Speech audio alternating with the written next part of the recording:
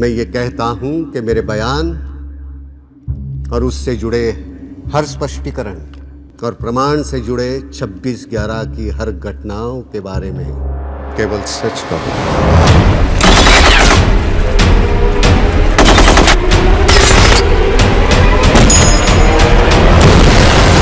Sir, the.